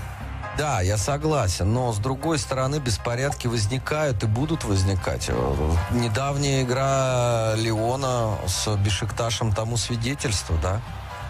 А, Разумеется, нельзя предусмотреть всего. Я просто говорю о том, насколько этому эффективно сможет э, способствовать паспорт болельщика. Я пока не понимаю, как это... Я, и- и третий раз скажу, четвертый раз скажу. Я не вникал глубоко в эту ситуацию. Но это бюрократизация, в первую очередь. А, а главное самое заключается в том, чтобы, а, идентифицировать нарушителя, и, б, наказать его по закону. Вот и все. Вот что нужно делать. А вот для чего еще вводится паспорт болельщика, я даже не знаю. Ну, действительно, а если я вот, допустим, хочу... У меня вот есть абонемент на «Спартак». Это, это пластиковая карта. Ну да. Если я не могу пойти, я могу отдать ее товарищу. Ну, а что же в этом плохого, интересно? Что же в этом плохого? Ну, я не могу, меня нет в городе, например, в этот день, да? Я, я даю, даю эту пластиковую карту своему приятелю, которому хочется ходить на футбол, он идет. Ну, а зачем этому мешать? Айрат тут уточняет, я так понимаю, Айрат пишет из Казани, Рубин ЦСКА, там не нужен паспорт болельщика. Просто имея этот паспорт, можно бесплатно прийти за матч. За деньги в Казани, к сожалению, ходить уже не хочется. Скоро доплачивать начнут. Ну, не знаю, Арят, я, я понимаю вас прекрасно, что у вас есть основания для э, всякой иронии саркастической, но вообще последний матч Локомотива Рубин сыграл, по-моему, прекрасно. А как ты вообще относишься вот к этому? Ну, то, что у нас бесплатно ходят на футбол, что там билеты раздают. Вот мы постоянно говорим, что футбол должен стать бизнесом, но пока до этого так далеко. Понимаешь, вот что вообще вкладывается в выражение, э, что-то должно стать бизнесом? Все дело в том, что если нечто может функционировать как бизнес, пусть даже из, из- без дохода, да, ну, допустим, с отчетностью, да, с какой-то вот с, с понимаемыми механизмами внутри, это говорит о том, что это, эта история здорова, что она, что она жизнеспособна. Потому что мы же знаем прекрасно, допустим, вот э, там, не знаю, вот нас э, слушают в каком количестве и в каком именно количестве городов страны нас слушают. Но вот мы же знаем прекрасно, как вот, ну, в большом, большом. Э, вот, например, доро- до- дороги, да, вечная российская проблема. Вот э, решение проблем дорог. Это вечное посыпание деньгами больных мест, да, вот там. А, вот сейчас закатали, а потом выяснится, что закатали неправильно и не вовремя, и зимой это опять все. Воруют просто. Вот главная Ну, проблема. Ну, да, например, да, совершенно верно. Э, то есть метод э, решения проблем путем посыпания деньгами больного места, он не работает. Да? А вот если бы это было бизнесом, дороги не должны приносить дохода. Конечно же, это убытки. Есть, конечно, платные дороги, но мы не это имеем в виду. Вот так же точно и здесь. А, Просто, как бы сказать, если футбольный клуб функционирует как бизнес, не просто, что он приносит... Вы поймите, футбольный клуб как бизнес – это абсурд. Люди, что, люди занимаются бизнесом, занимаются бизнесом, занимаются Гуглом или занимаются нефтью. Вот это бизнес, вот для чтобы деньги приносило. Но клуб должен функционировать как бизнес. Тогда это означает, что в нем правильно работают механизмы, что в нем не воруют. Да? Ну, насколько я знаю, ты сейчас уже окунаешься потихоньку. Расскажи. Да, да, да. Действительно. Футбольный бизнес. Да, я завел футбольную команду. Мы встретились с футбольной командой и полюбили друг друга. А как она называется? Она называется «Эгриси». И, и нам осталось сыграть один матч. Это команда любительской футбольной лиги. Я очень хочу сказать, вы знаете, это очень интересная история. Вот э, обратите внимание, э, это такая незаметная история, но она очень правдивая. Э, вот действительно, футбол меньше смотрят по телевизору. Меньше, чем раньше. И, наверное, меньше, чем когда бы то ни было. Но при этом любительский футбол в больших городах растет. В Москве больше тысячи команд в любительской футбольной лиге. Вот. И э, я обзавелся футбольной командой не потому, что я богатый человек, не потому, что мне некуда девать время или деньги. Я, в общем, человек э, не, даже не состоятельный, я бы даже сказал, не особенно зажиточный. У меня еще кредит не выплаченный. Но, тем не менее, я намерен показать, что э, это такое удовольствие содержать команду. Я, конечно, могу еще сам сыграть в футбол, но это будет только мне напоминать о том, что мне 45 лет и у меня живот. вот. Поэтому мне пришло время команду содержать, команду иметь. Вот. Я намерен показать, что за счет... Каждый может иметь футбольную команду. Кто-то с друзьями собрался, скинулся, да, там, потому что есть какие-то обычные расходы. Нужна форма, нужны такие стартовые взносы какие-то, да, матчевые и так далее. Ну, чего-то это стоит, Судьи да? оплачивать. Да, совершенно верно. В прямом смысле этого слова. Потому что судьи тоже работа. Не, Ну да. да, не результаты оплачивают. Ну да, да. Да, а вот. Э, Я намерен э, содержать команду посредством своего инстаграма. Буду об этом рассказывать. Вот уж если так представилась возможность, я приглашаю вас. У нас уже, кстати, через неделю я расскажу совершенно сногсшибательную историю по этому поводу, потому что у нас хорошая команда. Эгриси, если выиграет последний матч, матч последнего тура, э, поднимется классом. Э, Вот. И э, это будет очень хорошо. Дело даже не в этом. На следующей неделе мы расскажем э, совершенно потрясающую историю о том, что шанс представляется каждому человеку, скажем так. Вот. Для этого вы можете подписаться на мой... Это, это не коммерческий проект, поэтому я могу об этом сказать. Э, на канал в YouTube. Канал называется Кря Production. Мы там рассказываем историю нашей команды. Я рассказываю о том, как можно содержать футбольную команду. А название откуда такое странное? Эгриси. Ну, откуда название «Спартак»? Откуда название ЦСКА, например? Что общего? Центральный спортивный клуб армии. Да, но какой он уже центральный, какой спортивный, какой клуб, если даже называется ПФК ЦСКА. То есть профессиональный футбольный клуб, центральный спортивный клуб. Да? Это уже Можно сказать, профессиональный футбольный клуб Центрального ГО, клуба армии. Вот так можно. Ну, в общем, можно что угодно говорить. А, просто... Не, ну а это исторически понятно, откуда название. Откуда название Настоящие, настоящие футбольные команды, они существуют до прихода, до, до твоего прихода и после твоего ухода должны существовать. У нас живая футбольная команда, она... Уже со своей историей до тебя. Да, совершенно верно. У этой команды есть история. Хочу подчеркнуть, что в нашей футбольной команде футболисты не получают денег за то, что они футболисты. Они, я просто помогаю им существовать. Вот. И мы об этом делаем маленький телевизионный проект ко- который называется «Футбольный клуб». Собственно говоря, э, впервые программа обросла э, соответствующим ее названию смыслом. Я думаю, что, в общем-то, это хороший путь для всего нашего футбола. Не э, платить футболистам, а просто помогать им существовать. Главное, главное, как бы сказать, играйте в футбол, вот что важно. Если вы можете играть, играйте. Если вы не можете играть, помогайте. Вот и все. Спрашивают, а с командой Валерия Карпина как сыграли? Команда Валерия Карпина отказалась от игры в последний момент. Э, Хочу подчеркнуть, что это не было решением Валерия Карпина. И к Валерию, и к Сергею Герану у меня нет никаких, у нашей команды никаких претензий. Мы их уважаем. И э, они не, я не считаю, что они нарушили какое-то слово и так далее. А вот э, в разные другие стороны раздается у нас бурный хохот. Вот. В общем, короче говоря, была назначена встреча за сутки примерно, ну, за двое суток до игры. А накануне вечером мы обсуждали, в каких бутсах играть будем. За сутки до игры э, нам сообщили, что игры не будет, потому что команда разъезжается, съемки закончены. Вот представляешь, вот, да, э, игра назначена на 1 мая, а вот э, 27-го они нам сообщают, что э, апреля, что 28-го у них, оказывается, проект заканчивается. С ума сойти. Ну, в общем, это не важно, это их дело, и э, я не хочу по этому поводу злорадствовать. Просто э, я вызывал э, команду на матч по правилам ЛФЛ. По правилам ЛФЛ неявка. Это 0-5 по правилам ЛФЛ. Я называю эту историю «Ямайка взяла реванш». Так, ну возвращаемся Но мы. главное, но главное дело в том, что это, э, это не суть э, нашей команды. Наша команда была прошлое и будет будущее.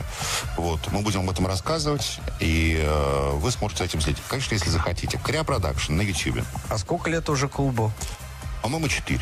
А, только то есть уже чуть, э, чуть помладше Краснодара. Да.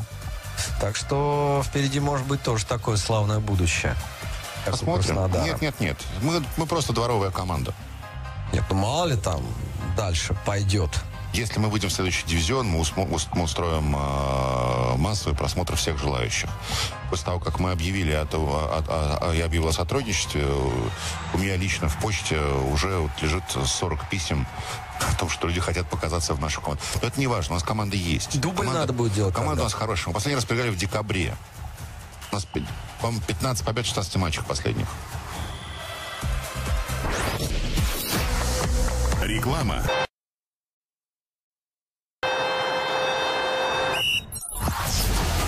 Продолжаем говорить о футболе. Василий Уткин Да, Игорь. Косманов. Э, Можете звонить э, 276-093-2 или 1-93-2.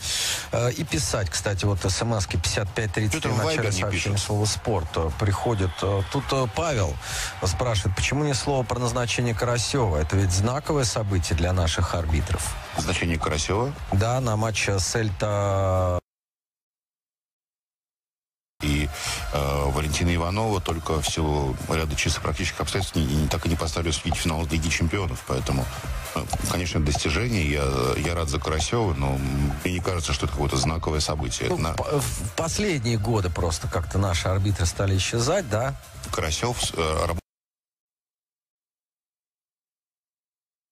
Вот берут на другие проекты. Так, э, кстати, касательно судейства, точнее даже касательно правил, э, любопытная информация пришла, что на чемпионате Европы э, среди мужчин и женщин до 17 лет, э, в эти дни, кстати, проходят в Хорватии, Одновременно среди мужчин и женщин. и Чехии. Не, они параллельно просто. параллельно. да, до 17. Среди девушек и юношей, так скажем, коль уж до 17 лет.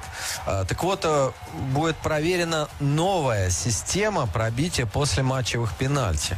А, Что и, это интересно? да, это будет напоминать, как пишут тайбрек в теннисе. А, То есть после первого удара команды А, затем команда Б нанесет два удара подряд, после чего право пробить пенальти дважды будет у команды А и так далее. Я даже не знаю, что по этому поводу можно сказать.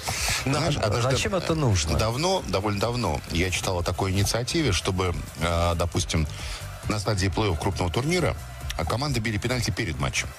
Ну да, был. Вот, для того, чтобы было понятно, что ничья не устроит одну из них. А, вот. И после этого играть. Вот. Мне это кажется, как ни странно, по-моему, это, ну, сначала кажется диким, но если вот посидеть, вот, э, пожить с этой идеей некоторое время, по-моему, она довольно действенная. Ну, не знаю. Но есть э, в шахматах э, такая история для, э, для, для тайбрейка шахматного, да, когда играется матч, да, что вот э, черные могут сыграть ничью, а белые нет. Если ничья, то на пользу черных. Что-то в этом роде. Нерв пропадает. Нет, наоборот. Э, Становится понятным, ну, как часто мы видим, что вот э, даже в обычной иг- игре календарного какого-то чемпионата э, игра до гола э, бывает такой очень вялой. Это игра такая сдержки и противовеса, да, вот э, скорее не пропустить. А вот если понятно, что одна команда не может позволить себе уже ничью, причем не в силу жребия, а в силу вот реально ставшегося соревнования какого-то небольшого, да? Э, тогда получается... Вот как, как, как игру вскрывает гол, как любую игру вскрывает гол. Становится э, более ясная мотивация. Вот э, мне кажется, что не то чтобы я это предлагал, я вообще противник того, чтобы менять правила в, в принципе. Мне кажется, правила никогда не должны меняться. Э, вот, но... Как никогда? Как я думаю. Вообще никогда. Я думаю, что да. То есть это изначально как придумали футбол. А, Игорь, ну, понимаешь, э, они должны меняться иногда. Но для этого нужно превозмочь это самое никогда. Правила должны быть священны. Правила нельзя пересматривать, как вот, э, там, не знаю, меню. Не- нельзя пересматривать, да? Вот. А вот э- э- этим они и хороши. То есть ты хочешь сказать, что здесь важна какая-то, ну, грань чувства меры. Знаешь, есть такое, э, такое выражение, э, касается военной истории, что для того, чтобы предпринять наступательную операцию, должен быть троекратный перевес. Для того, чтобы менять, менять правила, мне кажется, нужен десятикратный перевес в аргументах. Десятикратный. Ну, ну, не, не то чтобы во- восьми не, не позволять, а очень большой. Да? Мы с тобой не первый раз встречаемся в этой студии и вообще не первый раз встречаемся. И ты знаешь прекрасно, мое убеждение глубокое, что, например, вот взятие ворот и положение вне игры давно пора фиксировать технически. Ну да. Ну, потому что здесь нет, нет, нет- здесь нет места оценки. Здесь просто вопрос, увидел или не увидел. Зачем это нужно доверять вот э, глазу судьи? А это даже не изменение правил. Это, это- да, это, это не изменение правил. Это скорее изменение э, их функционирования, да, это изменение техники, что ли, принятия решений. Ну вот. э, здесь, здесь, не- здесь не нужно мнение. Пересек так пересек. Понимаешь, умерла так умерла. А, Евгений тут э, пишет, что команда, которая выиграет по пенальти перед матчем, может смело уходить в оборону, игра потеряет в зрелищности. Ну, вы знаете, э, это крайне редко такое возможно. Есть у нас звонки. Э, Колкоманда звонился. Здравствуйте. Алло, Игорек, Василий, здравствуйте. Здравствуйте. Приятного вам эфира. Василий, у меня к вам небольшой такой вопрос. Я внимательно слежу за испанским это, Ла Лигой. И, в частности, вот в команде Барселона мне в последнее время нравится защитник ЮМТТ. Как вы думаете, он надолго закреп- в основе закрепится? И вообще, как, как вы думаете о его игре? Большое спасибо заранее. Э, Спасибо вам за такой тонкий, я бы сказал, э, детальный вопрос. Э, Я думаю, что для защитника очень сложно провести настолько круто первый сезон. Потому что все-таки защита это коллективное действие. Здесь очень важно сразу вписаться в действия с партнерами. Защитники обычно гораздо более постепенно входят в состав команды, тем более защитники молодые. Это производит очень приятное впечатление. Жерару Пике давно нужен э, квалифицированный и не старый партнер э, в обороне. Поэтому я могу вам сказать, что я с большим интересом за этим слежу. Но, э, опять-таки, э, Барселоне предстоит смена тренера. Смена тренера – это всегда смена определенной концепции, безусловно. Э, Поэтому э, один сезон молодого защитника, каким бы он... Понимаете, Умтити, э, он, чем- опять-таки, чемпион статистики пока что. Барселона в этом году не преследовала выдающихся целей и задач. У Барселоны бывали провальные матчи, в том числе с точки зрения игры в обороне. Поэтому э, это не ответ на все вопросы. Наверное, Умтити надолго пригодится Барселоне. Но станет ли он лидером обороны? Я бы не стал здесь э, делать ставку какую-то. Я бы сказал, что это неизвестно. Лоран Блан. э, слухи появились э, в последнее время. Вот, на твой взгляд, это такой интересный был бы вариант для Не Барса? знаю, не знаю. Я думаю, что... А у, у кого есть представление о том, как работает Лоран Блан? Ну, Сейчас он не работает, да, сейчас представления да, нет. да. Ну, он работал со сборной Франции, он работал Парижем, с ПСЖ, да. да. Вот. Но у меня нет четкого представления о том, что в чем заключается его, скажем так, тренерская манера. Наверное, контактировать с Бланом нормально, потому что Барселона же повернута на том, что тренер должен быть связан с ней как-то генетически. Блан играл за Барселону, хотя и недолго. И уже в зрелом возрасте. Но, не знаю, я уже говорил, что, по-моему, э, сейчас, правда, осложнилась ситуация. На мой взгляд, оптимальный тренер для Барселоны – это Хорхе Сампаоли. Ну, в Аргентине уже будет. э. Ну, наверное, будет в Аргентине. всего. Хотя я не убежден в этом. Ну, наверное, будет в Аргентине. Я думаю, что... э, я думаю, что... Про Сан-Паоли... Прошу меня простить. Про Сан-Паоли совершенно ясно, что он не будет в Севилье. Это да, Поскольку из Севильи ушел человек, который его приглашал. Мончи. Да, и у него есть как минимум два конкурентных предложения.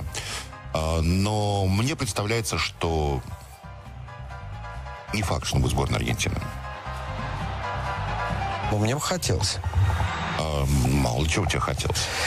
А, Василий, все должно развиваться только не футбол, вопрошает Анатолий. Так нет, а это же не значит, что не будет изменений. Должен быть десятикратный перевес, как сказал Василий. Я просто за консерватизм в данном вопросе. А, вопросе правил. И, да, и, э, и больше ничего.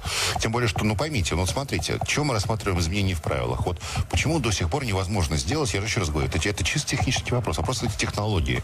Послушайте, э, люди научились э, первую ступень ракеты из космоса возвращать на Землю и, и заново стартовать ею, понимаете? Как же, по- почему до сих пор на глаз фиксируется офсайд? Ну, это же чисто технический вопрос. Почему на глаз фиксируется взятие ворот? М? Ну, Ну, почему? На крупных турнирах, э, ну, FIFA это мы всегда, э, у них был один аргумент, что э, футбол должен быть везде одинаков. Я не знаю, в чемпионате Нигера и на чемпионате мира. Вот если там не, нет видеосистемы, то Это демагогия, потому что чемпионат Нигера не равен чемпионату мира. В любом случае, ни, ни по каким показателям. А, вот. И это дело чемпионата Нигера, какими они там будут. Ну, нужно разрешить э, пользоваться такими, создать такие системы и разрешить ими пользоваться. А уж там кто что может себе позволить. Знаете, в некоторых чемпионатах до сих пор босиком играют. Что ж теперь сделаешь? Ну, нет у них бутс, например, да? Рекл- Да, это программа «100% футбола». Василий Уткин, Игорь Катманов в студии. Потихонечку Мне подводим. пишет э, Дмитрий Савкушкин, э, ну, мне вопрос просто. Василий, как вы относитесь к высказываниям Соловьева про то, что вам надо лечиться? Соловьев говорил про вашу статью насчет Шараповой. Владимир Соловьев, очень интересное мнение Василия, прошу озвучить. Вот мы озвучили, Дмитрий. Вы знаете, я не припомню, что я писал статью о Шараповой, во-первых. А, во-вторых, э, я, мне 45 лет, 46 год. Вы знаете, в этом возрасте любому человеку надо лечиться. И я этим активно занимаюсь. Вот. А что касается Владимира Адольфовича Соловьева, то что бы он ни говорил, когда бы он ни говорил, мое отличие от него заключается в том, что я вылечиться, я вылечиться могу, а он уже нет. Вот и все. Так, ну У а нас мы- мастерская. Да, мы перед тем, как передать э, слово Марии Терской, подведем все-таки итоги опроса. Согласны ли вы с высказыванием Павлюченко в адрес Ари? Э, да, полностью. 59% считают. Нет, Павлюченко повел себя некрасиво 29. И чуть более 11 э, считают это Павлюченко надо дисквалифицировать до конца сезона за подобные высказывания. Ну, а теперь передаем слово Марии Терской. Новости у нас. Да, спасибо еще раз. а, Добрый вечер. И начну я с того, что Российский футбольный союз и Немецкий футбольный союз подписали мемо- меморандум о сотрудничестве. Заключение этого соглашения прошло сегодня в Москве. Э, Свои подписи под э, документом э, поставили, соответственно, президент РФС Виталий Мутко и глава э, немецкого футбольного союза Райнхард Гринде. осталось. Вот я так намечал себе, ну, мне, конечно, интересно, чтобы Монако сыграл в финале Лиги Чемпионов, но это уже дело десятое. Я к финалу Лиги Чемпионов отношусь очень философски, потому что я считаю, что нужно его принимать таким, какой он есть. И это главный турнир клубный в мире, да, поэтому тут с пожеланиями нечего лезть. Но вот у меня есть, э, после того, как Спартак обыграл ЦСКА, у меня осталась одна мечта, чтобы Сельта выбила МЮ. Ну, а почему бы и нет? Почему бы и нет, действительно, это полуфинал, все возможно. Просто мне этого хочется. А ты так недолюбливаешь МЮ, Мауриню или так обожаешь Нет, Сельту? мне, э, я, я же сейчас, я же тебе говорю, я не болельщик. У меня отношения к клубам стабильного нету. Нет, я имею в виду нынешнюю Сельту, там, условно говоря. Ну, просто мне, мне было бы это очень интересно. Сельта, кстати, сейчас не, на- не в самом лучшем состоянии находится, но мне кажется, что она может по- по- по- подерзить. Это вообще всегда интересно, когда Мне просто хочется. Да? Да. Я согласен. Мне просто хочется этого. Ну, я Могут думаю, у меня маленькие желания. не один такой в своем желании. А, так, Против э, МЮ я вообще ничего не имею. Феликс пишет, э, возьмите свою команду игроков Томи. Они поднимут клуб на Нам- новые вершины. Э, Вы со своими советами, знаете, идите дальше Томи, потому что у нас есть команда, эта команда не, не вчера возникла, и мы ее не набираем, мы ее развиваем. Павел написал, Василий, вы так интересно рассказывали, что я прямо сейчас э, подписался на ваш канал. Очень Подписывайтесь. интересно. Мы, мы стараемся, мы делаем что-то. Да. Ну и тут э, вопрос по мадридскому дерби. Кря продакшн, кря продакшн. По мадридскому дерби мы говорили, но тут э, э, вопрос с подтекстом, да, как вам мадридское дерби с чисто английским судейством? Знаете, я, как-то... э, э, мы, кстати, вчера комментировали этот матч э, в, одном московском заведении, не буду говорить каком. И так понятно. А, Мы сейчас нашли новый такой формат. Я комментирую футбол вместе со своими студентами, студентами нашей школы, со Станиславом Гридасовым. Вот. То есть не с Гридасовым комментируем, а школа с Гридасовым у нас.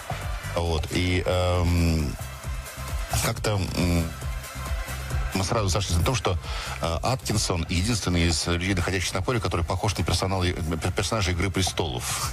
Вот.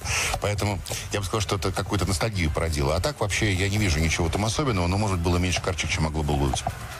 Дмитрий Дерунец, ведущий программы «На все сто», появился в студии. Привет, сегодня- коллеги, да, подхвачу э, тему вашего первого часа. Естественно, обсудили уже все футбольные, околофутбольные события финала Кубка.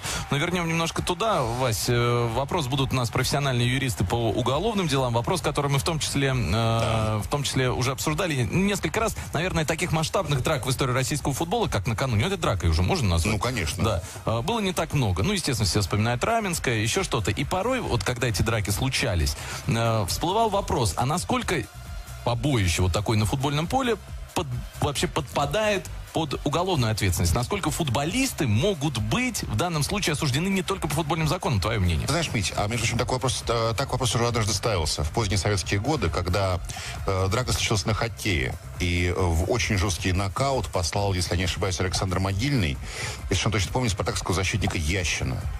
И возник, э, обсуждался буквально вот в разных газетах вопрос, а может быть 15 суток, в конце концов, чем это отличается от, если бы это на улице произошло? Но чем-то это отличается. А, Я бы хотел сказать, что да, действительно, в футболе это э, событие очень редкостное, но в хоккее драки мы наблюдаем постоянно.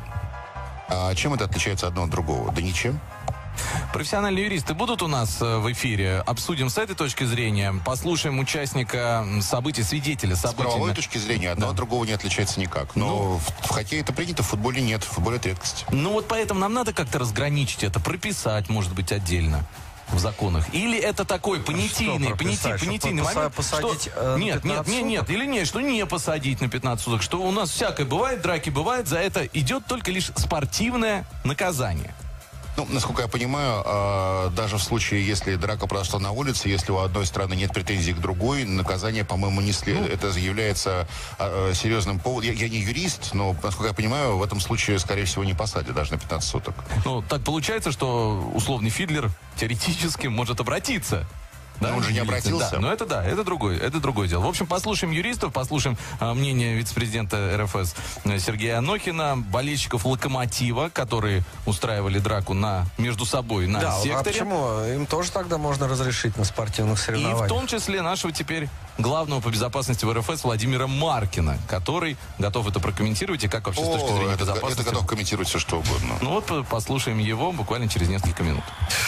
Ну что ж, э, слушайте программу «На все сто» с Дмитрием Дерунцом. Э, Поговорите там о, о драках, да, стоит ли вообще административное наказание, уголовное э, вести за драки во время матчей. Ну, наверное, все-таки это как-то даже... Ну, не смешно знаю, не знаю. Мне кажется, что это было бы слишком. А мы, Василий Уткин и Игорь Катманов, с вами прощаемся уже, так что В таком случае пока. Эн- Эн- Энтони Джошуа должен на 15 суток сесть Да, согласен. Всем удачи. В российском футболе. Вот это, наверное, может на втором месте будет. Ну, стоять. похоже, да. Похоже, да. Э, Тоже можно, кстати, было устроить опрос, какая драка вам больше понравилась. Ну, а что касается... э, Ну, ту не все помнят. Ну, там еще и... Там, кстати, тоже южноамериканцы участвовали в этой драке. э, Так же, как и вот э, в той, которая была э, в Сочи. Главное, что все это происходило ну, на глазах у Виталия Мутко, да, и он как-то особо на это, я так понял, не отреагировал. Он даже так потрепал по голове Ари, погладил по лысине, что-то там шепнул ему на ухо, когда вручали кубок. Я думаю, что Виталий Ильич просто не смотрел. Я думаю, что он просто приехал вручить. Вот, и, наверное, сидел в ложе, пил чай. Я не иронизирую, потому что я, честно, человек не пьющий. Вот, сидел в ложе, пил чай, разговаривал с кем-то. Ну, как разговаривал? Разговаривать с Виталием Мутко, это значит слушать Виталия Мутко. да? Э, Он, он с кем-то разговаривал, наверное, все это время. Потом сказал, оп, пора идти награждать. Он говорит, а кого? А, а локомотив. Вот прекрасно. И по- пошел и наградил. И все по-честному сделал. Я думаю, что он просто не видел этого эпизода. Мне так кажется. Вполне вероятно. Но сам Мутко сказал, что КДК, естественно, рассмотрит эту ситуацию с дракой. Решения будут приняты э, по э, действующим лицам в этой драке. И, как сказал Виталий Леонидович, это немного подпортило футбол. А, понятно, эмоции, не хотели проигрывать, но они профессионалы, должны держать себя в руках. А судья разобрался. Кто, интересно, не хотел проигрывать? Ари не хотел проигрывать. Ну, наверное, Ари да. уже не проиграл к этому моменту. Фидлер э, не хотел проигрывать, а Ари, наверное, просто захотел подраться. Ну, как он сказал сам, он, э, дескать, вступился за Фарфана, насколько я понимаю. Нет, ну Ари горячий парень, понимаешь? Ну, он в кон- в конце концов то из э, разбитой машины э, раненых вытаскивает, то за вступается еще за кого-то. Ну, такой человек, что поделать. Ну, я Эмоции. думаю, э- эпизод-то с э, разбитой машиной все-таки перевешивает эпизод с дракой. Нет, просто это разные эпизоды. Просто можно быть э, хулиганом в одном случае и героем в другой. Вот и все. Но за каждый эпизод ты несешь ответственность самостоятельно. Эпизод- Нет, если э, уходить от шуток, то эпизод в любом случае безобразный, и вот за него, конечно же, нужно наказать по полной. А как ты относишься к словам Павлюченко? Что это? Просто эмоции? или- Павлюченко? Да. А что такого особенного? Послушай, я уже примерно три недели содержу дворовую футбольную команду. Там такие слова иногда звучат. Это футбол, часть футбола, э, то же самое. Ну, Там же не предлагают кого-то выгнать из страны, допустим. Пускай э, уезжают в свою Ну, знаешь, там, классический, Бразилию. классический футбольный посыл, который не цитируем в, ради- в радиоэфире, он дальше, дальше, чем Два часа мы говорим, два ближайших часа говорим о футболе, главном виде спорта. И поздравляем, естественно, московский локомотив с победой в Кубке России. Э, Юрий Павлович Семин выиграл пятый э, кубок, так что установил рекорд. Василий Уткин, Игорь Катманов а в студии. Василий, приветствую. приветствую. Сейчас я закончу писать в Твиттер, что мы начинаем эфир на Спорт ФМ. И э, Хорошо. я бу- буду полноценным участником беседы. Да, ну а я скажу, что у нас проходит опрос на странице Спорт ФМ ВКонтакте. Согласны ли вы с э, высказываниями Павлюченко в адрес Ари? Э, Варианты следующие. Да, полностью согласен. Пока этот вариант лидирует 48%. Нет, Павлюченко повел себя некрасиво 28%. И третий вариант это Павлюченко. Надо дисквалифицировать до конца сезона 24%. Ну, я, во-первых, напомню, что э, дисквалификации кубковые на чемпионат не распространяются. Э, Хотя здесь уже горячие головы, и не только горячие, может, наоборот, да, люди, которые рассуждают здраво, они считают, что Ари достоин серьезной дисквалификации. Ну, э, не знаю как, я уже провел в своем твиттере опрос большой, э, принял участие 5,5 тысяч человек. Вот, и с Павлюченко согласна, что Ари действительно он. Да. Он. 51%. А Что не он э, считает 10%. Что Павлюченко сам он 17%. И 22% считают, что Ари воздушный шарик. А я вообще считаю, что финал получился как он. Какой-то скомканный финал. И вот, наверное, это... Вот, честно говоря, вот эта драка, которая была в конце матча, наверное, это главное, что запомнится всем. Но это в любом случае, наверное, бы Ну запомнилось. нет, почему? После гола было довольно интересно смотреть, мне кажется. Я э, смотрел финал не полностью, я смотрел начало, потом я просто переехал с одного места в другое, там мне нужно было комментировать в публичном месте э, Лигу чемпионов, и я переезжал. Вот, я смотрел примерно, скажем так, первые 30 минут и последние 25. И мне кажется, что после гола было довольно зажигательно. Ну да, я Это тоже чем-то напоминало смотрел. бокс э, э, Тайсон Холлифилд после того, как Холлифилд откусили ухо. Вот такая, такой могучий махач без всякого, без всякого порядка. Ну, вообще, то, что сделал Ари, это вопиющее вообще. Да, это вопиюще. Это, ну, я не знаю, какой дисквалификации это достойно, там, 10 матчей или сколько, но это, это просто ужасно. Ну, да, безусловно. Ну, что здесь говорить?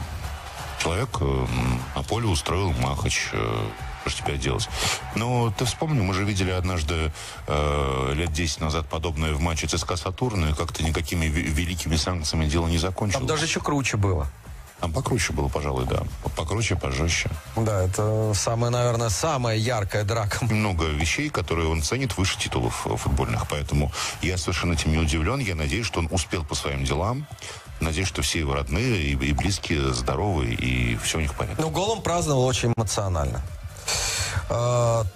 Так, ну э, давайте посмотрим, что вы нам пишете. Во-первых, здесь очень много вопросов по дерби прошедшему. Так, Ну давай э, тогда по дерби поговорим. давай по дерби.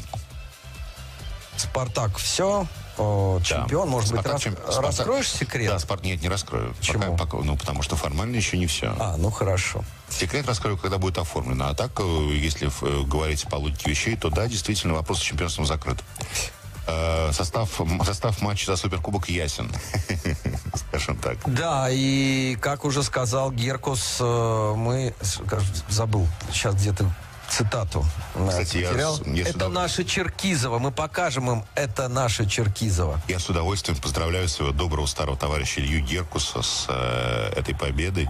Вот, я уже сделал это лично, но вот еще раз хочу сказать, что вот э, Илью я поздравляю и очень за него, за него персонально рад.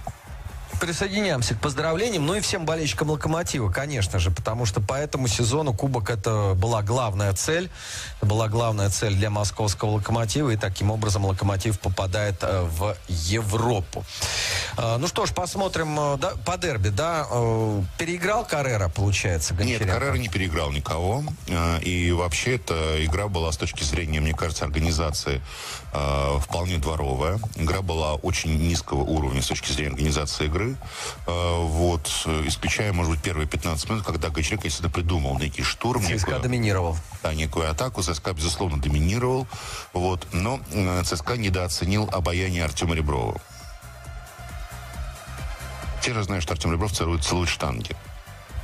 А, но дело в том, что на ЦСКА, на стадионе ЦСКА, который пока еще неправильно называть ВЭП-ареной, поскольку контракт еще не заключен, вот, а, ЦСКА... Вроде официально все называют. нет? Нет, нет, нет, нет. С- э, Контракт не подписан, сколько я знаю.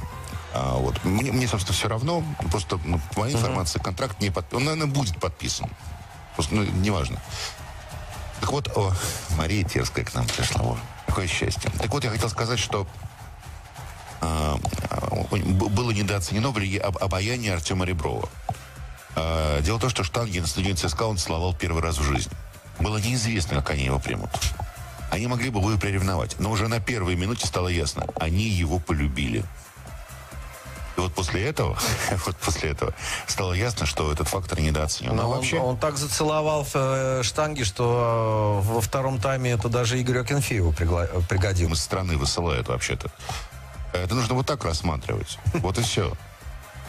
А, Так, посмотрим, что вы пишете. Павлюченко сам вести себя не умеет. А, Ари, конечно, матчи на 5 нужно отстранить от футбола. Ну, дело в том, что, опять-таки, его могут, насколько я понимаю, отстранить только от кубкового футбола на 5 матчей, потому что дисквалификации э, распространяются в кубковых матчах, они распространяются, соответственно, на кубок. Да. В рамках турнира. И никаких исключений здесь уже, соответственно, не сделаешь. Не, Можно, конечно, Ну, и- внести поправки в закон, как это у нас часто бывает. Ну, я думаю, что здесь, если говорить о правилах, то, а, на мой взгляд, а, есть, м, скажем так, как бы это сформулировать-то, есть а, санкции такого абсолютно дисциплинарного свойства, санкции за слова. Вот я считаю, что санкции за оскорбление должны распространяться на все турниры. Потому что э, это не важно. Вот санкции за футбольные нарушения, за грубости и так далее, они должны оставаться внутри соревнования. А санкции, вот как бы это сказать, сугубо дисциплинарного свойства, я думаю, что должны, должны на все То есть, подожди, я не понимаю, ты считаешь, что Павлюченко э, это... Ну, допустим, за проявление расизма, которого в данном случае не было. Я считаю, что должно распространяться на все турниры. за драку.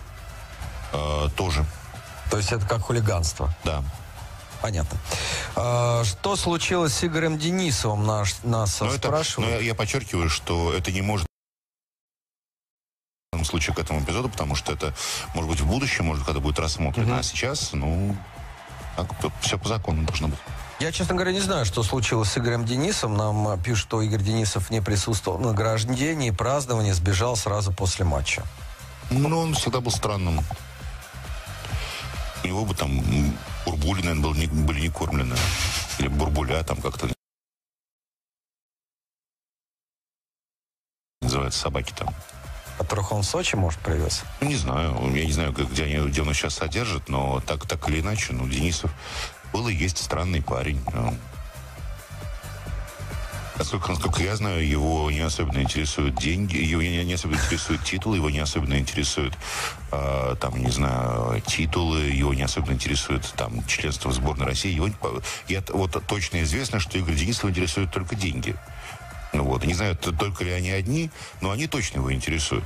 Это, это просто доказано жизнью уже и подтверждено. Ну, ну, наверное, понял, что выиграл, ну, поехал, что. В конце концов, послушай, Игорь, ну это же Сочи. Ну, море. Ну, может, там шашлыки перегорали уже. Ну, Может быть, да. Может быть, у него, наоборот, какие-то проблемы были. Он, не знаю, в семье а, а торопился. может быть и проблемы какие-то были. Я же еще раз говорю, у Игоря Денисова гораздо э, есть очень...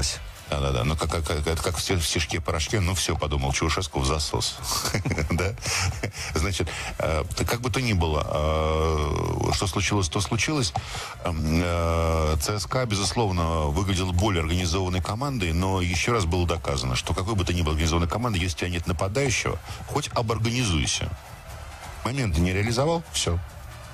Это была игра про реализацию моментов. Ну и еще я бы хотел поговорить потом про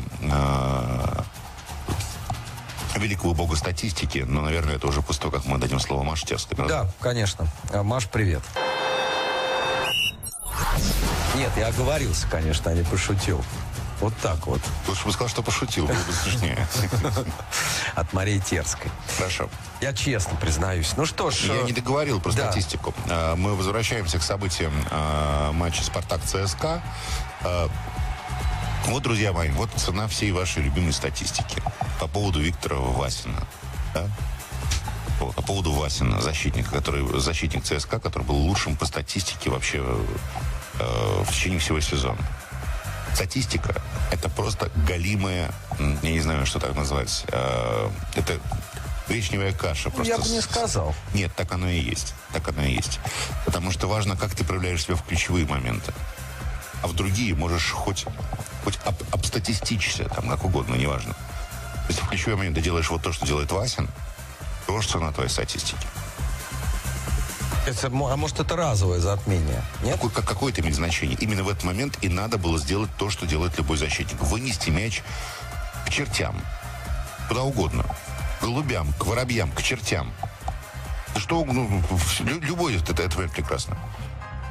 Нашло затмение, а на самом деле он... Нет, ребята, он не лучший. Это, это вы ЦСКА до, до Уфы опустили, взяв Васина в основу. А не Васина из Уфы в ЦСКА подняли. Каким он был, таким он и остался. Да, причем ему по-моему, 28 Ч- уже. Четыре года по арендам или три там, я не знаю. Вот она, цена вашей всей статистики. Важно не как ты проявляешь себя на протяжении там с первой по 90 минуту каждого тура чемпионата России, а важно, как ты проявляешь себя в ключевые моменты. Это, кстати говоря, очень хорошо видно по теннису. Вот великие теннисные комментаторы, настоящие теннисные комментаторы, никогда не анализируют статистику. Потому что они прекрасно знают. Теннис вообще очень своеобразная игра. Там можно выиграть меньше геймов, но выиграть матч, да, чем соперник.